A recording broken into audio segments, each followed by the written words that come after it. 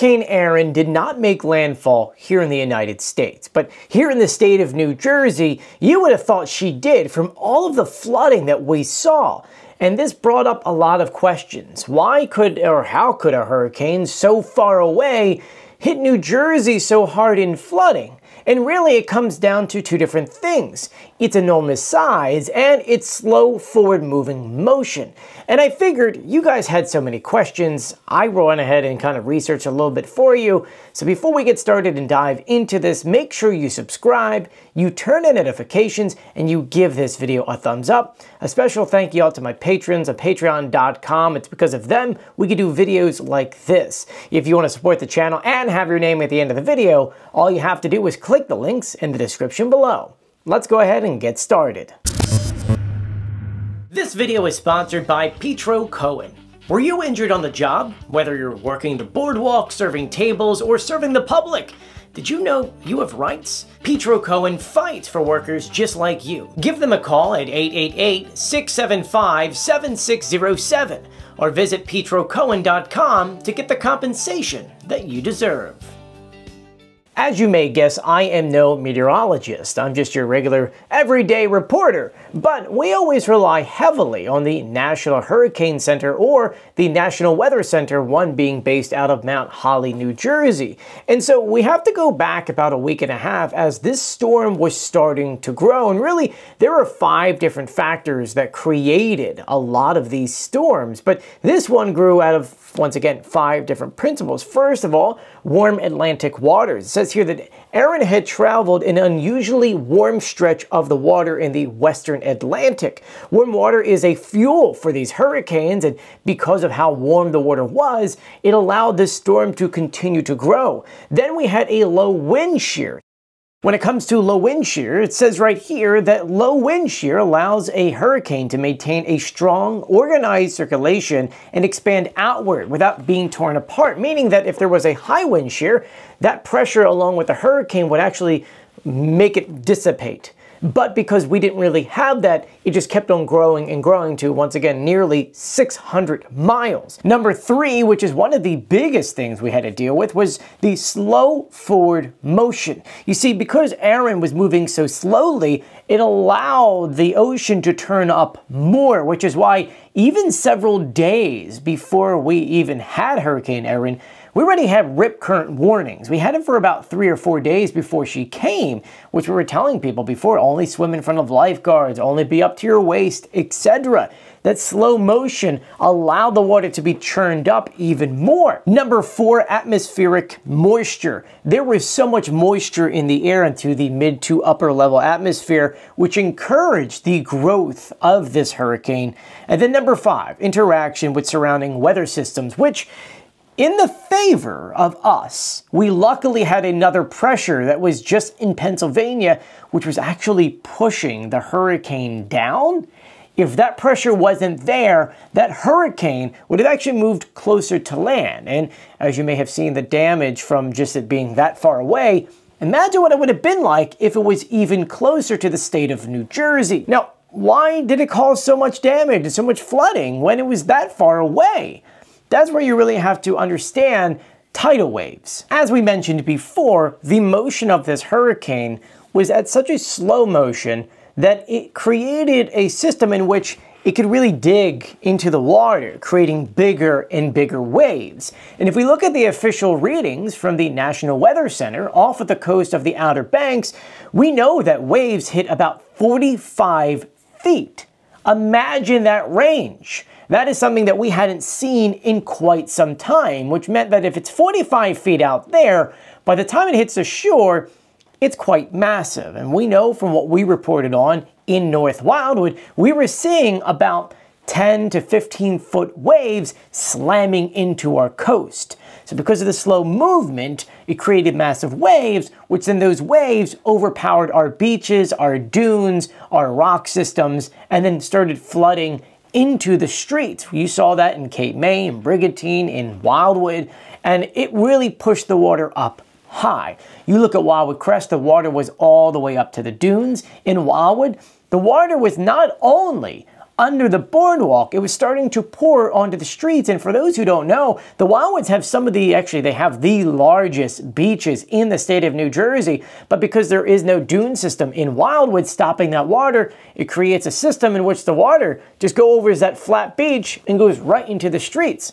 Once again, this was not a direct hit from the hurricane. It was from a hurricane several hundred miles away. Imagine if that hurricane actually hit the beaches of Wildwood, we'd be having a different story going on as though the boardwalk was destroyed. I'm pointing this out about the island-wide beach dune system, which is still not happening at this very moment, and clearly this hurricane does point out to it being needed. That being said, when these waves start slamming, it pushes water back and back and back. And while you're thinking about the beaches, you also should be thinking about the bays because water is not only being pushed onto the beach, it's being pushed into the bays. And the bays can only contain several feet of water before it starts overflowing. And in the wildwoods, our bulkheads aren't as high as they should be. I, I forget what the exact standard should be for bulkheads in the state of New Jersey. I know they were trying to raise them very high and some people got angry by that. But because the water can only be sustained to a certain height for so long, the water started pouring in. And so we started seeing the pressure being pushed into the bays, that water emptied into the streets, and in a combination of it being high tide, it being almost a new moon, and this crazy pressure, we had the flooding. As they say, the perfect storm, even though we really, really weren't having much of the actual storm itself. We weren't having the rain. We weren't having tropical storm winds. We weren't really having much of anything. It was a combination of many different things hitting all at the same time. And we definitely know that the high tide is what really pushed us over the edge, mostly because after high tide went away and low tide came, the streets were fine. So we saw a perfect storm of many different things. And the one thing I have to point out is the fact that we did this storm without the winds. If there was the addition of the crazy winds pushing that water, it would have been a lot worse. And I want this to be sort of like a very good understanding of this was just a bad storm. And it did this in just a bad storm. Imagine what's going to happen over the next few weeks, potentially a month through October, if a hurricane this strong does make landfall near the state of New Jersey. It will have a devastating effect. Storms are getting worse. The waters are getting warm. Believe it or not, because of how the water was pushed and pulled because of the hurricane, the water temperatures actually dropped. And so as we're still deciding on what to do with a larger island-wide dune system here in Wildwood, or if other towns are looking at beach replenishments and bulkheads, etc., we have to understand that if Mother Nature is acting this bad when we don't have these systems put in place, when a major 50-year storm does happen, we're going to have a 1962 Easter storm in the wildwoods, potentially in other areas. And now is the kind of like warning wake up call of, hey, we need to start preparing for this now so that it's not going to cause major issues down the line. I say this as someone who has been following all of the beach erosion issues in North Wildwood and bulkheads and you know, thank God for North Wildwood building those emergency bulkheads because if they were not there, there would have been water on the streets. There would have been millions of dollars of infrastructure destroyed and other things. But luckily, right now, we only have couple hundred cars with water damage. Some people that get water. My house alone had eight inches of water. So there are there is more damage to it, but this was not a hurricane direct on, nor was it really generally close, and we really didn't have many of the things that we would have experienced if we did have a hurricane. So please learn from this hurricane. Please see how things were so that when the hurricanes do start coming, and they're going to, because this is the largest we ever had early on, you would be prepared for it. And when people start warning you about moving your cars and to get to higher grounds, we mean it because we saw two bridges be shut down because of the flooding. And this comes at the busiest time down here in the Wildwoods. Ultimately, I want you guys to be safe. I want you to think safe, and I don't want you swimming in the ocean when there are no lifeguards. There was a lot of rescues, and thank God we have amazing lifeguards and first responders because even I saw police officers running full gear into the water to go save people who didn't listen to the sound advice.